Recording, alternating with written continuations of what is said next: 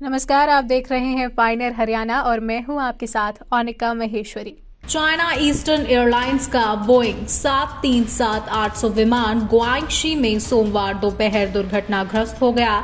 इसने कोनमिंग से उड़ान भरी थी और औद्योगिक शेर ग्वांगजू जा रहा था।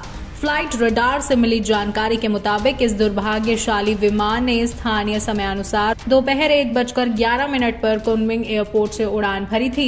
ये दोपहर दो बजकर बीस मिनट पर उनतीस हज़ार एक सौ फीट की ऊंचाई पर उड़ रहा था। करीब दो बजकर बीस मिनट पर इससे संपर्क टूट गया था। चीन में सोमवार को हुए इस बड़े विमान हादसे के 20 घंटे बाद भी कोई यात्री या चालक दल का सदस्य जीवित नहीं मिला है। आपको बता दें कि चीन के सरकारी प्रसारक सीसीटीवी की रिपोर्ट के अनुसार विमान में सवार 132 लोगों में से अब तक कोई जीवित नहीं मिला है। ये चीन में करीब एक दशक के इतिहास में सबसे भीषण त्रासदी मानी जा रही है।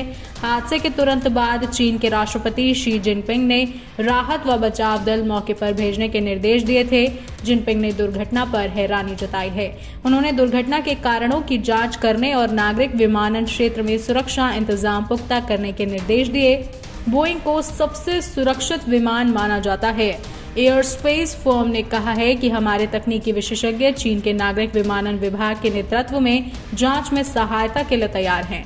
आपको बता दें कि हादसे के बाद विमान और जहाँ ये हादसे का शिकार हुआ, उस पहाड़ी इलाके में भयावह आग लग गई थी। ये आग इतनी विकराल थी कि ये नासा के उपग्रहों के कैमरों में दर्ज हो चुकी है।